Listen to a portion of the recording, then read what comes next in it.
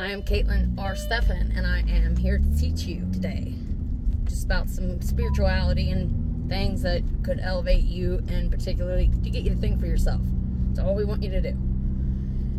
Why? Because you have your best interest at heart, always. You're, you always have, you always will. So, to, but you gotta to, to find the full circle and get back to your to that version of yourself can be kind of hard depending on the trials and tribulations you may have experienced in your life, right? So, when we take our discomforts and we put it in the spiritual realm, right? That's when we start identifying what's what, who's who, and why is why and how's how, right? Even though there is no why, there is no how, but that's beyond what I'm trying to speak on right now. But okay, so when we when we link the two, it gives us ways to identify what the hell is really going on because when you see beyond the veil and you know that we're in a matrix, right? And just like everybody always asks, what's the matrix? It's the like Thanksgiving coming up. I I we just got to download on while I'm driving. It's always when it happens usually, and that's when I'm like more willing to teach than than normal. But um it's easier for me to articulate it in words, I guess. But uh, I don't even know why I went there. But so, anyways, I completely went blank. Oh, Thanksgiving. So it's a holiday that represents genocide on the Indians, right? That's what happened, guys. You know what I mean? Like, let's be real. They got pushed to the shittiest parts of United States, and where there's your res- reservation, and they never did get their their uh, chair in Congress. There, there's all kinds of stuff that went down that never happened, and they never spoke upon because they they just they know. If you know, you know. You don't speak upon certain shit if you know. But I'm trying to to to deliver this in a way that you don't reject it, and you just have an open mind, right? And be aware of what you're participating in and how it could be affecting your life on a daily basis spiritually by participating in tradition or things that we didn't fully understand, just like the whole Santa Claus thing. It spells Satan if you just take, and some people are like, you're, you're going too far on that.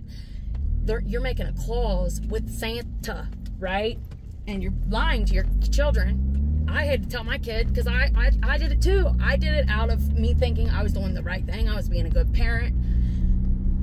You know, that you got that innocence and that, you know, dear Santa, Santa Satan and then they sign it. You're supposed to write your vision and make it plain to God. And that's scripture. So here you are making you're writing what you want to say as a child. So you're basically signing a contract with uh, giving away your birth get a Holy Spirit, get giving away some of your birthrights. Right then, dude. Holy shit. God.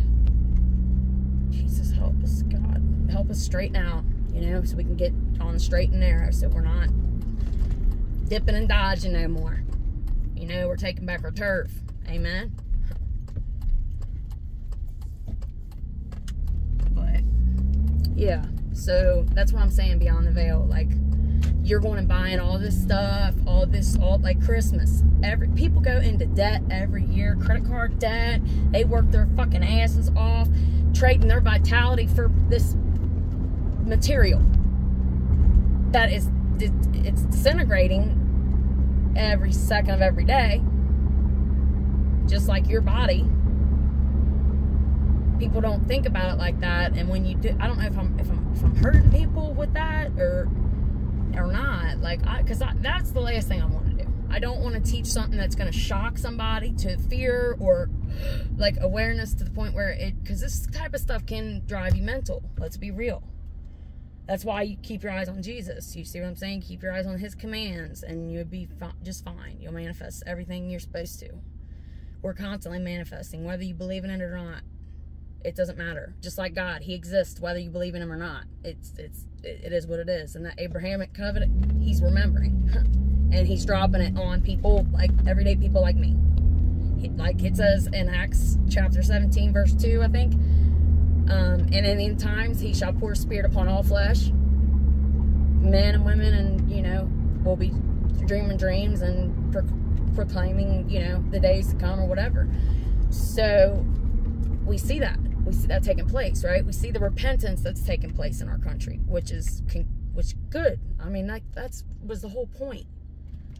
But we've let it get a little too far within our everyday life of our country. Like people are worried about Starbucks flavors coming out when our economy is getting ready to fully collapse, uh, like a Great Depression, like something we haven't seen.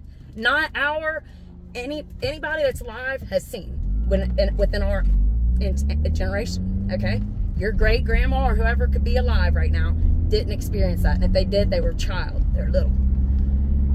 So that there's something to think about and take into consideration for sure. For sure, guys.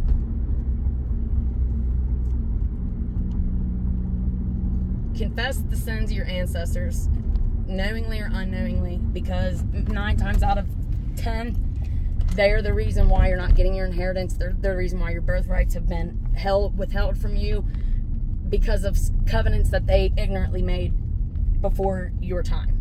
And it lingers in your DNA and your spirit. Okay? Your soul. All right. I love you guys. Until next time, stay prayed up. I hope this I hope this made sense and stay up.